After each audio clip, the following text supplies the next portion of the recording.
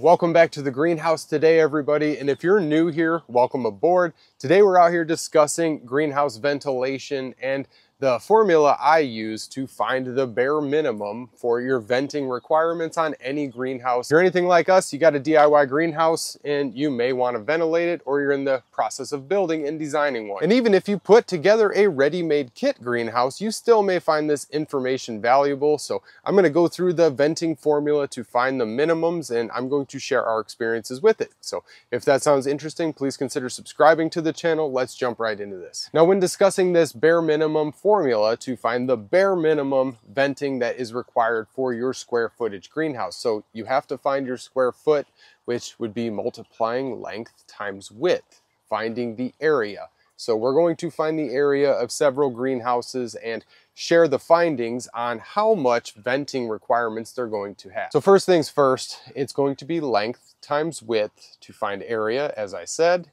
times 0.02 in order to find the bare minimum requirement. So let's run the formula on a couple different size greenhouses. So if we're using our small cattle panel greenhouse, 6 by 12 roughly, we've got about 72 square feet in that greenhouse, which is going to lead us to having 1.4 square feet of ventilation, not very much. Let's take a quick look at our Harbor Freight greenhouse. 10 by 12 times 0.02 is going to give you about 2.5 square feet of ventilation required. Now pairing it up to our large 520 square foot, 52 by 10, so 520 times 0.02 is going to give us about 10 and a half square feet of ventilation requirements to vent this greenhouse properly. So looking at a 20 by 30, you're going to have to find the area of 600 feet times 0.02, giving us 12. 12 square feet minimum to vent that greenhouse. Now that I ran a few greenhouses through that formula,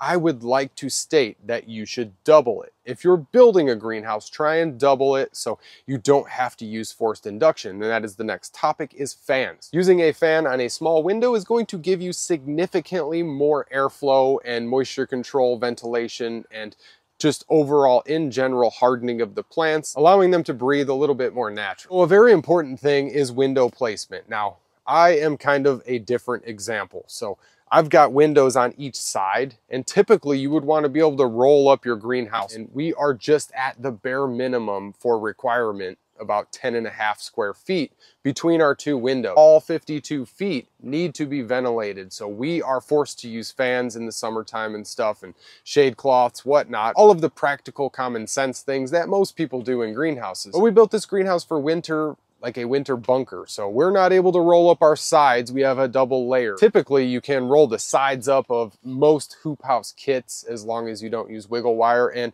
tuck it in tight. So that would be excellent for ventilation because then you could have good airflow.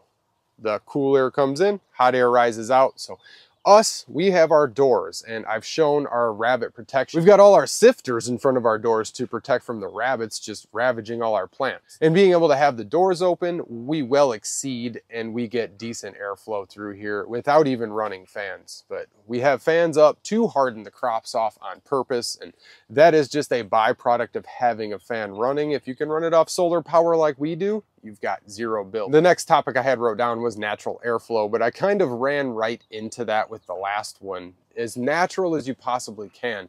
So my window is up decently high. It's maybe eye level, a little bit less than eye level at the top of the window. So most of the heat will vent right out, even if the doors are closed. But with the summertime temperatures coming, we have to have the windows and doors open to be able to survive in here. Having those doors open and being able to allow bugs and critters and nature to get in along with airflow. You can see my greenhouse is kind of moving weirdly in the wind because we've got those two layers. So the outside's moving a bit and then the inside catches a little bit more as the air moves through the greenhouse tunnel here. And all that natural airflow is great for all of these plants. They should be outside, but it's been kind of chilly overnight and we wanted to protect all of our investments that we're about to take to the market. Pretty much sums up the venting formula requirements and why we would do that. Now I will show our little wax filled cylinders. Now I get away with this super cheap. These are like 20 to $30. So this little cylinder, these are pretty common. Most people know about these, but the cylinder is filled with wax, a natural wax that expands and contracts. And as it expands, it pushes this rod, allowing this elbow to extend and open. It is not quite warm enough to make it pop yet. I shut my fans off.